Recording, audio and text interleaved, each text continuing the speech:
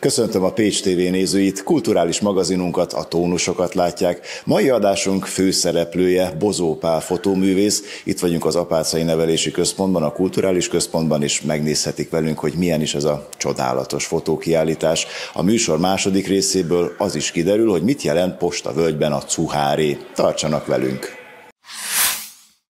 Megérint a fény. Ezzel a címmel érkezett a meghívó Bozó Pál Pécsi fotóművész kiállítására, melyet június 29-én Péter és Pál napján nyitottak meg a Pécsi Kulturális Központ apácai művelődési házában. Bozó Pali ismerőse lehet sokaknak a városból, főként a 40 felettiek korosztályából, mert hogy a rendszerváltást követően egy igen népszerű galériának és boltnak volt az apukája, együtt feleségével, Pál Ildikóval. A műsorban természetesen beszélgetünk a szeptember 5-ig látható tárlatról, ám mielőtt erre térnénk, következzen némi időutazás a 90-es évek első felébe, amikor kaput nyitott a Kreatív a Ferencesek utcájában. 94-ben a rendszerváltás után a feleségemmel úgy éreztük, hogy eljött a mi időnk, 40 év szocialista szürkeség után valami, valami frisset, valami újat kell csinálnunk, és ez annyira bejött, hogy a fiatalok évekig nagyon kedvelték, és az egyik törsejük volt Pécset. Újszerű volt abban, hogy kézműves termékeket árultunk, mindenféle egzotikus, világban felelhető kézművesek által készített tárgyakat, ami ugye 40 év vasfüggöny után az emberek egyszerűen rácuppantak, a másik pedig az, hogy én mindig a, a zene felől is közelítettem, úgy adtam el, hogy nem eladni akartam, hanem egy közösséget építeni, beszélgetni, és a hasonló ízlésű embereknek egy, egy szigetet próbáltunk megteremteni. Maga kreatív, a logó, mindent mi terveztünk, és a zenét is, a megállító táblát kitettük az utcára, amivel az akkori időben még bizony az önkormányzattal is meg kellett küzdenünk, mert mindez annyira újszerű volt még 94-ben, de hát ez ma már történelem számomra. Örülök, hogy Miki, te is emlékszel erre. De nem tudom, hogy hogy jellemezzem, mert mondanám azt, hogy ez egy alaksor volt, vagy egy pince volt, de mindenképpen emlékszem hogy egy lépcsőn kellett lemenni, és egy roppant hangulatos boltíves helyiségbe jutott az ember. Te hogy emlékszel vissza rá? Hát hasonló módon egy pince galéria volt, mi annak hívtuk, mai szemmel nézve már talán picinek tűnik, néha kicsit dohosnak, párásnak, de akkor mindent, mindent átvett a lendület, nem foglalkoztunk ilyennel, mert olyan erős volt bennünk a késztetés, hogy megcsináljuk ezt a boltot. És ahogy mondtam, annyira jó fogadtatása volt, és annyira eltaláltuk a korszellemet, de te tudod, hogy, hogy miről szólt ez akkor, hogy évekre munkát és feladatot adott előbb nekem, a feleségemnek, aki, aki az egész motorja volt, az árubeszerző, a szíve lelke, az anyósom is benne volt, és később munkatársaink is voltak, mert fejlesztettünk. A kreatívból jött az Etno nevű bolt, ami ennek a koncepciónak egy továbbvitele, egy, még inkább egy a globális kultúra, az a crossover a zenébe is, a világzene, akkor nagyon új volt Magyarországon, de hát neked mondjam ezt, mint zenésznek. Szintén zenész, igen. De nekem mondjad, mint riporternek, mert ugye a beszélgetésünk fő témája a fotózás, és az a kiállítás, ahol most vagyunk, de azért indítottam a kreatívtól, mert ezt a munkádat, vagy ezt a hivatásodat is jellemzi a kreativitás, de mielőtt erre rátérnénk, azért azt mondd el kérlek, hogy mi lett a kreatívval, meg az etnóval. Megvan még ez a helyiség nektek? Hát ez a helyiség, ezt mi béreltük, utána pár évig még követtem a sorsát, de most fogalmam nincs, hogy, hogy mi van ott. Meddig Nem. tartott? Nekünk 2000-ig csináltuk, tehát hat év, ahogy 7 év az ember életében egy sejtcsere, úgy tűnik, hogy ez is egy, egy ilyen sejtcsere volt. Utána teljesen másról indult az életünk. Voltak hullámvölgyek, fény, fény sötétség, köd, árnyék, minden volt az életünkben. Úgy, megérintett a fény akkor is, ahogy ezt a kiállítást.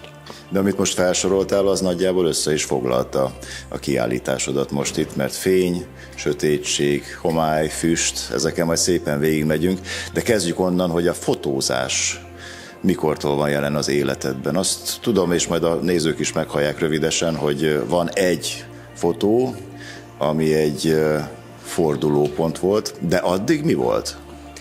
A fotózás, a feleségem analóg fényképész, tehát még a Szász János nagy fotós név, ugye mindenki ismeri, ő tanította, ő a fényszöbnél dolgozott. A Csonka Károly pedig fotózta, mint modellt. És a Csonka Karcsi, aki szerintem a pécsi fotográfia egyik ikonikus alakja, ővele nagyon sokat beszélgettem, de akkor még én sem gondoltam, hogy valaha egyszer én is a fényképezőgépnek azon a felén fogok állni, ahol ő. És az ő munkája, precizitása az nagyon nagy hatással volt rám, valamint az, hogy a baráti körömben rengetegen fotóztak. Tehát ez korunk népművészeté vált, ahogy a digitális technika berobbant ide Magyarországra is, meg a világba szinte mindenhova.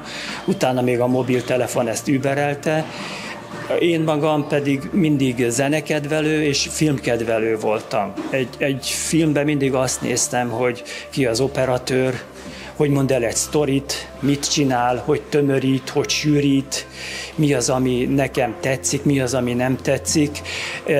Nagyon-nagyon tetszett például, ahogy a Vittorio Storaro az Apokalipszis mostba több réteget összerakott filmesen, ahogy a a Martin Sheen fekszik egy ágyon, és közben fölötte forog egy, egy, egy rotor, és ez, ez annyira beleégett a fejembe, hogy egy történetet úgy is el lehet mesélni, hogy nem csak egy képpel, hanem több kép, és akkor egészen másról fog szólni az egész történet.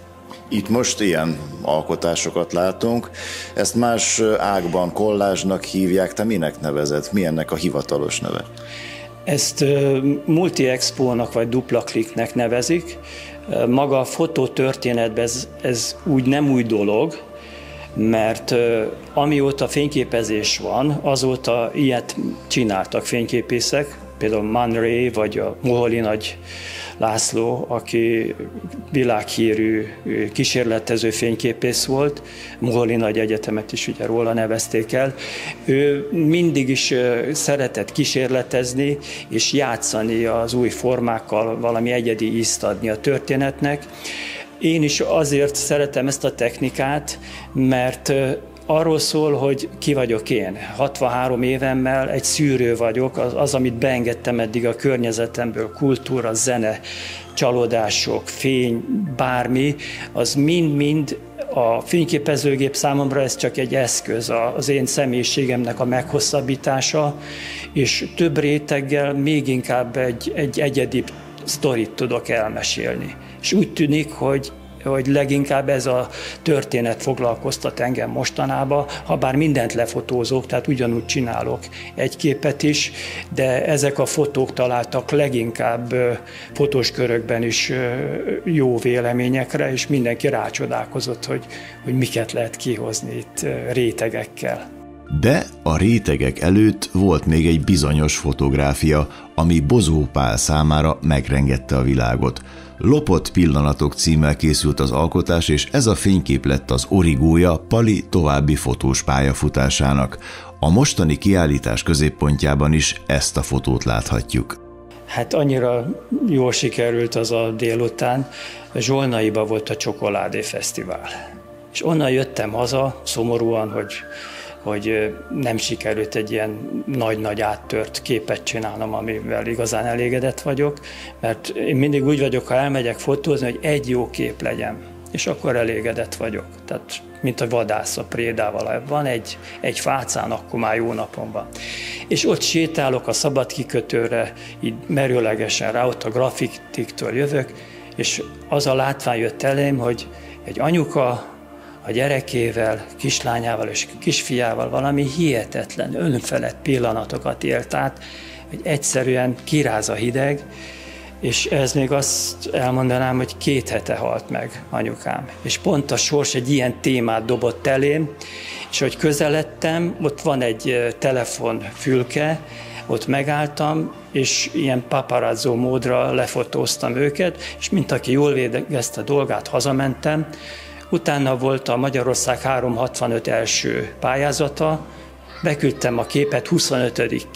pályázatomként, semmi esélyt nem adva neki, de elküldtem. Egyszer csak látom, hogy a legjobb tizenvalahány ezer fotóból ott van a 20-as szűrőbe, majd leestem a székről, és utána voltam bajba, mert a mai fotózásban a szülői hozzájárulás szükséges, főleg ha gyereket fotóz valaki, és nekem semmi tudásom nem volt, hogy vajon kik ők. Itt jött be a közösségi média ereje, pár nap alatt megtaláltam az anyukát, és nagyon örült annak, hogy ezt a képet elkészítettem, mert olyan pillanatot örökített meg, amit még ő se látott, hogy az ő kisfia mennyire is szereti őt. Első díjat nyert, és nekem ez egy akkora lendületet adott, Kelet Éva adta át a díjat, aki fotózik, a Kelet Éva egy legenda a fotózásba, Kaiser Otto, eh, Kerekes Emőke, Szarka Klára, tehát a hazai fotózásnak a nagy alakjai mind azt mondták, hogy ne hagyjam abba, csináljam. Lehet, hogy ha nincs ez a löket, akkor én is csak így a, a fióknak fotózgatok, vagy a szűk baráti körnek. Óriási volt. És ez a lendület azóta is tart. A Magyarország 65 365 alkotói közösségnek nagyon sok örömet köszönhetek. Minden évben pályáztam, és minden évbe bekerültem a legjobbak közé. Könyvbe szerepeltem négy-négy fotómmal, például ezzel a fotóval is, ami itt van. Úgyhogy... Tangós, majd mutatjuk igen, a nézőknek. Igen, Látják, igen, ez az? Igen, köszönöm. Tehát nagyon köszönöm nekik a, a, a lökést és a szellemi megerősítést. Azóta a Pécsi Fényfesztivál pályázatán is első lettem, ami tavaly volt, és kisebb-nagyobb sikereket értem el a fotóimmal. Kicsit megelőzted a kérdésemet, mert közben azon gondolkodtam, hogy neked tényleg ekkora löketet adott ez a szabad kikötői kirakatos fotó? Igen, határozottan mondom, mert tehát az, hogy ott állsz, olyan emberek mellett álltam, mint Daróci Csaba, Potyó Imre, Rizsavi Tamás, akik ma a fotózás sztárjai, Pádár Piroska, Tóth Pius István, Tóth Péter, sorolhatnám a neveket, és én a kis vidéki fiú, ott úgy éreztem magam hirtelen, mint, mint a nyuszi, akit előhúztak a cilinderből, de próbálok rászolgálni arra, hogy ez nem csak egyszer sül el az ember keze, hanem talán több is van még bennem nem akarok a te fejeddel gondolkodni, de nem gondoltál arra, hogy hát miért nem kezdtem én ezt előbb? Hát ez nagyon sokszor eszembe jut. A családban én videokamerát kezeltem. A feleségem fotózott. És mondtam, hogy a filmekhez a viszonyom az, az átlag fölötti talán, tehát nagyon szeretem a filmeket, és akkor nem gondoltam erre. De talán nem is baj, mert idősebb fejjel az ember már tapasztaltabb több mindenre fogékony. Azt látom, hogy a fiatalok kenik vágják a Photoshopot, a technikát, de sokszor nincs annyi ötletük, vagy nem mernek olyan bátran kísérletezni. Például a Kaiser Otto azt mondta nekem, neves fotográfus, hogy mert tele voltam maggájal, hogy nem túl késő ez elkezdenem, és azt mondta, Pali, a képedre rá van írva, hogy hány éves fotózta, és igaza van. Tehát a lényeg a látvány, amit látunk. Ha az fiatalos, vagy modern, vagy korszerű, akkor teljesen mindegy, hogy hány évesen készítettük azt a képet. Feleséged Ildikó, ő szakmailag igazgatott téged oda-haza? Hogy mondjuk mi legyen egy kivágásban, stb. stb. Ilyenekre gondolok. E, igen, főleg az elején igazgatott, aztán rájöttünk, hogy jobb, ha hagyjuk egymás felségterületét, és teljesen szabadon hagyja, hogy mit csináljak. Tehát őnek is van egy világa, meg nekem is. A, ez annyira faj, elfajult, már nem rossz értelemben, hogy 2021-ben úgy éreztem, hogy kell szereznem egy fotós képesítést, és elvégeztem egy OK és fényképész, tehát most már tanult fényképész vagyok, mert éreztem, hogy az, hogy én akarok valamit nagy elánnal, az kevés, tehát szakmailag is meg kell tanulnom a Photoshopot, meg kell tanulnom a Lightroomot, egy csomó dolgot, hogy, hogy ne jöjjek zavarba és akkor az élet azt mutatja, hogy mindig fejlődni kell, valahol lépést kell tartani a mai világgal. A néhány évtizedes időutazást követően eljutunk a jelenig, amikor Bozópál önálló kiállítása várja a közönséget a Pécsi Kulturális Központ apácai művelődési házának galériájában. Ez úgy volt, hogy kedves ismerősöm itt szokott szerepelni, és ő így fölhívta az igazgatónak a figyelmét a képanyagomra, és átküldtem szakmai önéletrajz, nagyképűen így hangzik, igen. Tehát, tehát elküldtem neki, hogy mi, miről is szólok én pár képpel, és örömmel álltak elébe. És nagyon hálás vagyok az intézménynek, hogy itt befogadtak, a megnyitó fantasztikusan jól sikerült, ott volt a sor vége, annyian eljöttek, amint teljesen meglepődtem, és a szakmai vélemények is jók, úgyhogy egy óriási megerősítést kaptam, hogy az, amit csinálok, az nem csak az én szívügyem, hanem esetleg másokat is érdekel. Aki ismer engem, egy ilyen ide mindent egyből típus vagyok, én nagyon nagy elánnal csinálok mindent, és ebben a család, a feleségem, baráti kör nagyon sokat segített. Ez 1200 fotóból lett leszűkítve. Tehát az óriási munka volt. Én egy hét alatt összeállítottam egyet, és ahol tanultam a fényképezést, Horváth Jan és a Kovács Tamás, ők mondták azt, hogy Pali, mindenképpen abba az irányba mozdulj el, amit most csinálsz, és amit a leginkább a szívügyednek érzel, tehát hiába voltak más képek sikeresek, azokat picit engedd el, mert az aktualitás, vagy ami, ami most foglalkoztat, az felülér mindent, és igazuk lett. Mert én jobban leragadtam volna még a kezdeteknél. Ezt a beszélgetést néhány nappal a megnyitó után, 2023. július 5-én rögzítjük, és Látom a szemeidben a csillogást, hogy holnap fejest ugrasz a Fényfesztiválba. Ez így igaz. A Fényfesztivál, hát nekem egy olyan, mint egy cukorkás doboz. Nyakig elmerülök benne, alig várom, hogy elkezdődjön. Nagyon sok sikeres fotómat készítettem a Fényfesztiválon, olyannyira, hogy a Fényfesztivál Facebook oldalán is az én fotómat kitették, kitettétek, hála jó égnek, amire büszke vagyok, illetve a tavalyi Sony Photo Plus Fényfesztivál pályázaton is egy, egy ilyen offroad programon, amit fotóztam, azokat a buborékfújó olasz művészeket egy olyan pillanatban tudtam lefotózni, amikor a buborékból hirtelen tűz lesz, és ez több száz fotóból az az egy volt, ami, ami átment nálam a szűrőn, de jól döntöttem, mert egy díjat hoztam el vele. Van úti célod képletesen mondva a fotózásban? Itt is most nem kontinensre gondolok, vagy városra, vagy falura, hanem hogy hova utazol a fotóiddal lélekben, hova szeretnél eljutni? Ez jó kérdés. Egyelőre az utazásnál vagyunk, akkor átutazó vagyok. Addig csinálom, úgy döntöttem, amíg szeretem, amíg örömet ad, nincs megbízom, nem kell elvárásoknak megfelelnem, szívvel szabadon fotózom, és ha ez átmegy, akkor én nekem nyert ügyem van, ami még titkos célom, hogy egy picit a, az embereknek a vizuális kultúráját valamilyen szinten megmozgatni, vagy megpiszkálni, mert a fotózásban is a legnagyobb bajt én abban látom, hogy az emberek még azt hiszik, hogy a fotográfia az egy festmény. Nem. A fotográfia nem festmény. A fotográfia az a pillanatról szól, a színekről, az esztétikáról, a képkivágásról, a játékosságról, a kísérletezésről és a gondolatról az én olvasatomban.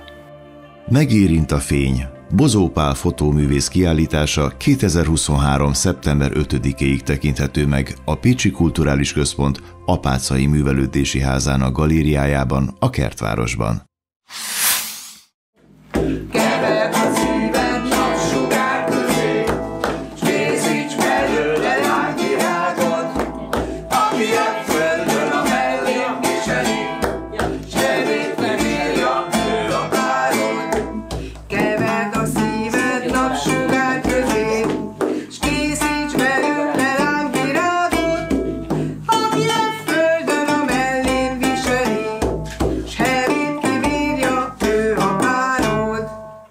Amint a tónusok felvezetőjében is mondtam már, ebben a műsorban utána járunk annak is, hogy mit jelent Pécs déli fertáján, a postavölgyben az, hogy cuháré.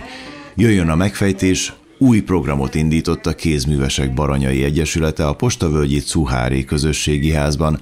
A zenés irodalmi tea délutánra keresztelt találkozókra helyi írókat, költőket hívnak meg, ahol a közösség számára lehetőség adódik a kulturális töltekezés mellett a találkozásra és a beszélgetésre is. Az ősforrás zenei műhely Vörös Sándor egyik versének megzenésített változatával nyitotta meg a harmadik zenés irodalmi tea délutánt Postavölgyben. A találkozásoknak a Cuháré Közösségi és Alkotóház adott otthont, melyet 13 éve a Kézművesek Baranyai Egyesülete működtet és tölt meg programokkal. A ház fontos szerepet játszik a városrész lakóinak életében, számos itt élő szépkorúnak biztosít alkalmat a találkozásra. 2010-ben megpályáztuk ennek a háznak a működésére való jogot a várostól. A városi az épület, régebben egy, egy tanterves, tantermes iskola volt, hogy itt egy közösségi házat csinálunk, mert ebbe a kis és nagy postavölgyi városrészben nincsen semmi, vagy nem volt akkor semmiféle közösségi tér, és ezt megkaptuk.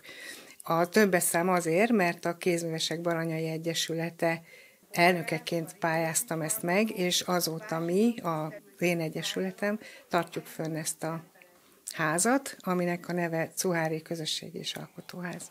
Ez Pécsen, Nagypostavölgy alsó úton van, és azóta csinálunk kulturális programokat, meg közösségi programokat. A kézműves szakkörökön kívül gyereknap, Mikulás, ilyen-olyan rendezvények szoktak lenni rendszeresen, és hát immáról már 13. éve. Olyan közelben élő emberkéket hívunk ide, akik nagyon jó tollal rendelkeznek, de esetleg otthon bujkálnak az írásaikkal, és, és nem kapnak elég lehetőséget arra, hogy bemutatkozzanak.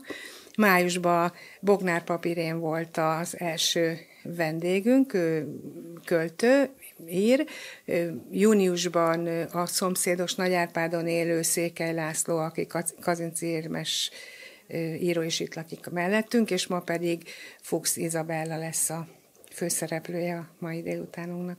Az imént említett főszereplő Fuchs Izabella kamaszkorában kezdett írni, ám a családalapítást követően nem tudott időt szentelni az alkotásnak.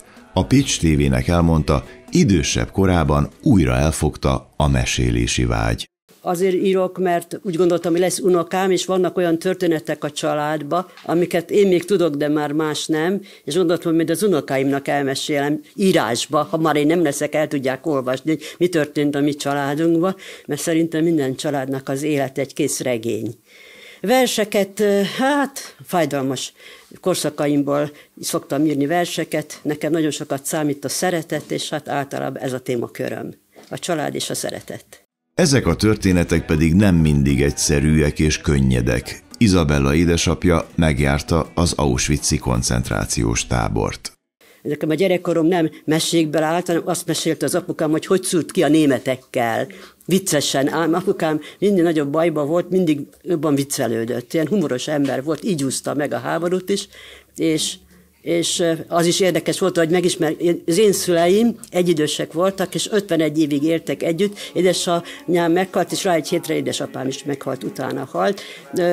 Úgy ismerkedtek meg, hogy meg, meglátta az apukám egy tánciskolában az anyukámat, és felkérte táncolni, és abapjában megkérte a kezét. És ebből a házasság lett, és három gyerek lett, és 50 évig együtt éltek, nagy boldogságban és szeretetbe, és egy példamutató családi élet volt. Én nagyon sokat írok a szüleimről, mert amikor írok róluk, akkor úgy érzem, hogy mintha velem lennének. A visszajelzésekben azt tudom, hogy minden, mindenkivel történtek hasonló dolgok, mint velem. Édesapám Tolna megyében élt Szakályhőgyészen, ott volt a nagyapámnak egy vegyes boltja, és én nagyon sokat voltam lent a faluba, gyerekkoromban, nagyon szerettem ott lenni, és sok élményem alakult ki, és hát hőgyészről is írtam egy novellát, és amikor megírtam, és amikor először felolvasták egy ilyen irodalmi esten, akkor mindenki jelentkezett, hogy jaj, hát ezt mi is átértük, jaj, de jó, hogy megírtad, ez velünk is megtörtént, és a hőgyészekkel a mai napig nagyon jó a kapcsolatom pont a novella révén, mert ők is nagyon örülnek, hogy visszaemlékezek a régi dolgokra. Hát már eltelt az idő. Úgyhogy ez most már régi emlék. A Postavölgyi Cuhári közösségi ház történetéről és eseményeiről bővebben az interneten, a szervezet közösségi oldalán olvashatnak. Önök a Pécs TV kulturális magazinját, a tónusokat látták. Jövő hétfőn is várom Önöket, akkor a 7. Zsolnai Fényfesztivál összefoglalójával. Viszontlátásra!